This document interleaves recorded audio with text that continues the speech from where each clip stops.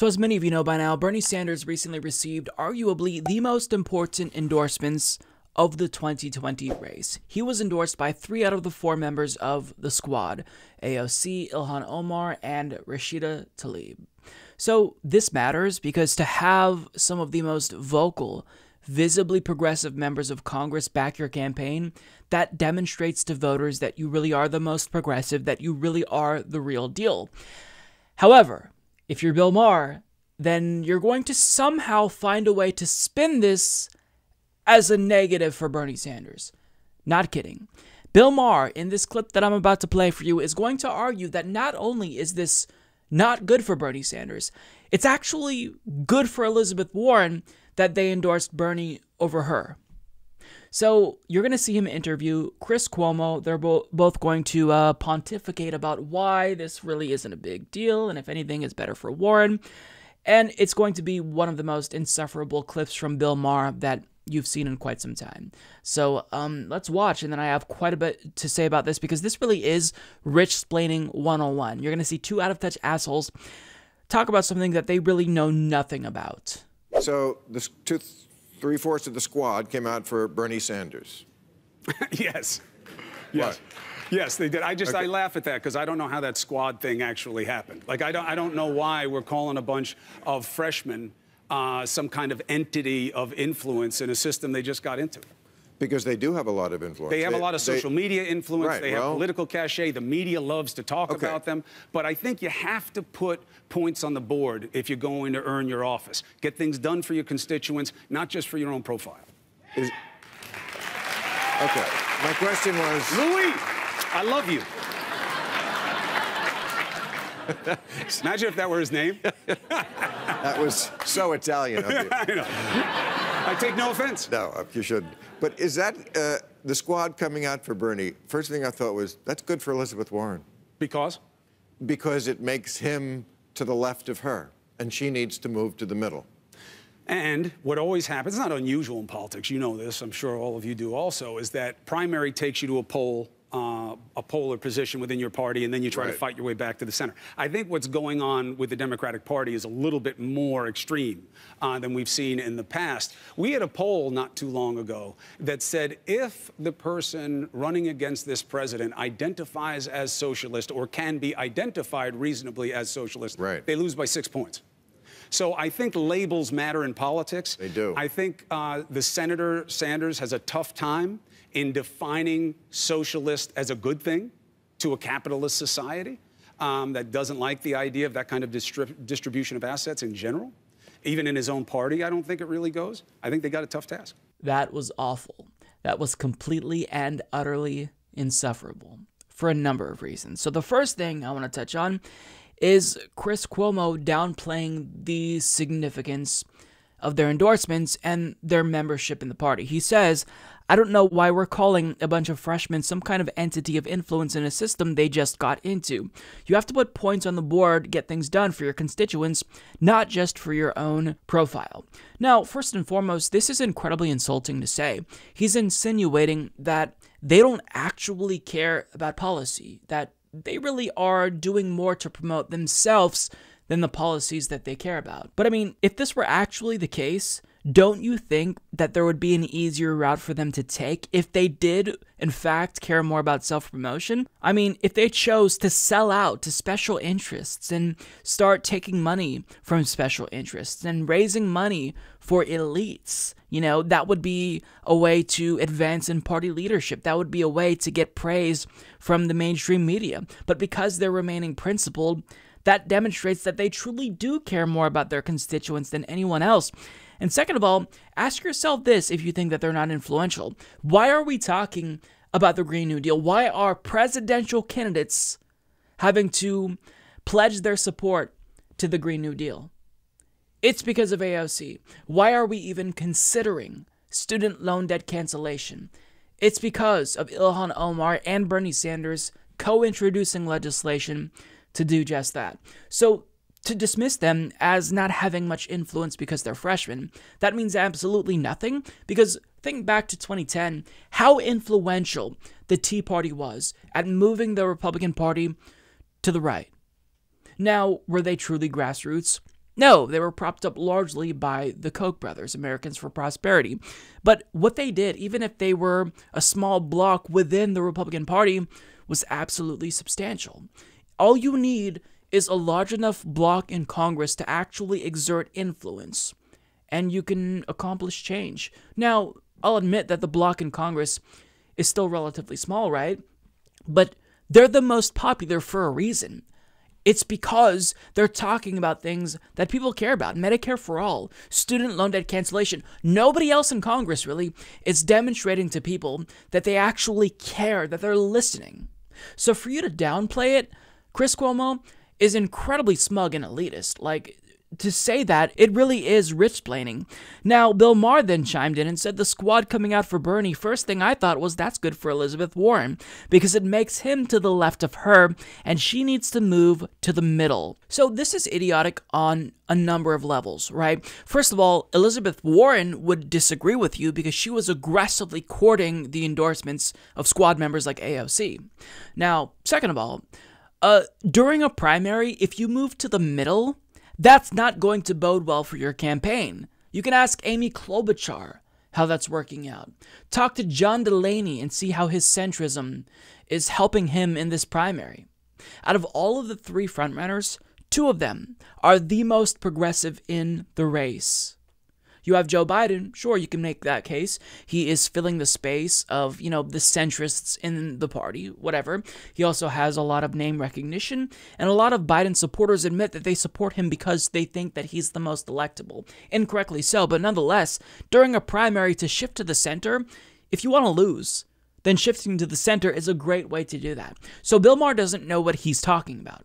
He is giving them horrible advice. Horrible advice. Because if that strategy was conducive to electoral success, then most centrists wouldn't be stuck at 1% indefinitely. But, you know, Chris Cuomo assured him that the pivot is a thing, and he says what's going on in the Democratic Party is a little more extreme than what we've seen in the past. Now, think about how one dimensional this line of thinking is. Do you ever hear people talking about the Republican Party in the same way? Do we ever talk about how far to the right the Republican Party has shifted? No. For whatever reason, even though the Overton window is so far to the right that we elected a literal fascist, we're still talking about how far left the Democratic Party is. Donald Trump moved the entire Republican Party to the right, and he didn't pivot in the general election. Let me remind you, and guess what happened? He still won. So, why is this worry about not being moderate enough something that only centrists worry about, that only centrists fearmonger about to the left? Well, this hinges on their worldview because, according to them, winning elections is about flipping as many undecided centrist voters as possible, not about exciting the base. So, the way that they view elections is there's always this fixed block of undecided centrist voters, and in order to win the general election, you've got to win over that fixed block. Now, this is something that Democratic strategists would agree with, right? A lot of Democrats agree with this. But between 2008 to uh, 2016, Democrats lost more than a thousand seats in state legislatures across the country, specifically because this is the strategy that they pursued. It's always about winning over moderates, but in trying to shift right and appeal to moderates, what have Democrats done? Well, they shifted so far to the center and the right that they left a lot of space open on the left and they abandoned their base. People stopped showing up because it seems like they care more about winning over Republicans than they do about winning over us. So rather than actually pursuing an electoral strategy that will be conducive to victory by going after non voters, by exciting the base, what Bill Maher and Chris Cuomo are advocating for is for them to pursue the same strategy that led to them being wiped out. It's like 2016 never happened, and empiricism isn't a thing, and we can never learn from the past. Unbelievable. Like in 2019, I shouldn't have to be talking about the viability of a strategy like that. Like we should all acknowledge collectively that running to the center is a horrible idea for Democrats, but this is still something that they're doing. Republicans never worry about running too far to the right. Democrats and elites always fearmonger about uh, the left pushing the party too far to the left. It's I'm, I'm over it, right? It's insufferable. I'm so fucking sick of it. I'm done with that. On top of that, Chris Cuomo invoked the fear of uh, socialism and how that could potentially be a hurdle for Bernie Sanders. Now, I get that when you look at some public opinion polls, voters tend to not want to vote for a generic socialist. But first of all, that doesn't necessarily mean that they won't vote for Bernie Sanders because a generic socialist with no connotations attached to it is different from a politician who was one of the most trusted and popular senators in the country. And on top of that, they're not acknowledging that this election will largely be decided by young voters because a new YouGov poll found that 7 in 10 millennials say that they would vote for a socialist. And 50% of millennials and 51% of Gen Zers have an unfavorable view of capitalism. Now, most people pay more attention during the general elections, and if a self declared democratic socialist is at the top of the ticket, even if you may worry about whatever hurdles that poses, you can expect young people to turn out. Which means that this will increase our chances of beating Donald Trump. Like, young voters have essentially decided elections by turning out or not turning out. So, if we have someone who's a self declared democratic socialist, people are going to turn out and vote for him. And guess what's going to happen? We increase our chances of beating Donald Trump. Now, I've got bad news for you. Um, if you are worried about that socialist label being attributed to Bernie Sanders because he is a self declared democratic socialist, any Democrat is going to be a socialist. Mitch McConnell even referred to Joe Biden as a socialist. So it doesn't matter who the nominee is, they could be as right wing as you want them to be. Republicans will, by default, say that they are socialists because that's what they do. They said Obama was a communist who was a center right neoliberal. So it doesn't matter who the Democratic Party nominee is. The political toxicity of that label is still going to remain consistent, but I would argue that Bernie Sanders would fare better because he is a self identified Democratic socialist. So by not running away from that label, he actually has the ability to take it and own it and actually redefine it and not allow Republicans to define it for him. But that's just one part of Bill's Bernie bashing, because there was another part where a panelist condemned Medicare for all, and Bill Maher, of course, uh, agreed with him. Might be seen as a way to help more Americans. I'll tell you one thing, though. You tell 160 million Americans that they can't have their choose their private insurance, you're going to lose an election. Right. And these people are yep. smoking crack. You know, forget about not even not even um, paying, being able to pay for it, 34 trillion dollars. I, my grandfather was a cop, okay, and my mother was a school teacher, and they worked really hard to put me in a position where I can buy the kind of insurance I want. And if I can't, or the people on this panel, I can't buy for my children, we are going backwards. We're fucking Denmark, okay? So, that of course was Donny Deutsch. He is a multimillionaire with a net worth of uh, $200 million and his logic is completely ass backwards. He's basically saying that if we have a Medicare for all single payer system, healthcare is free at the point of service, coverage is comprehensive and universal, we're actually going backwards. That makes no sense because it's idiotic. We're not going backwards if we get Medicare for all, we're going forward. Because if we end a system where healthcare is a commodity and 30,000 people die every single year, to stop that, we're not going backwards, we're going forwards, you disingenuous hack. But this is someone who we should expect to lie because he already admitted on Morning Joe that he would literally vote for Donald Trump over Bernie Sanders. He would vote for fascism before he votes for socialism. That's what he admitted before having to walk it back, because according to him, socialism would be bad for this company, I mean, country. His words, not mine. So this logic is so stupid, but I found the perfect response on Twitter because, as Jonathan Copeland said, if we replaced the lead pipes in Flint, 96,000 people will be kicked off their current water sources. And that's exactly right. You're framing an upgrade as losing something, and that's fucking stupid. If somebody took away my PlayStation 4 and gave me a PlayStation 4 Pro, would I say, you took away my PlayStation 4? Or would I say, you upgraded my PlayStation 4? Like, that's probably not the best analogy, but I mean, the point still stands. He literally said that if you tell 160 Americans, million Americans, that they can't choose their private insurance, then you're going to lose an election.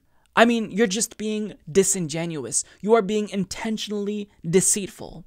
That or you're really, really stupid. But I would argue that he knows at least that, Amer- that a Medicare for all system, it wouldn't lead to people losing health insurance, but he wants you to think that so that way he can help drive down support for it.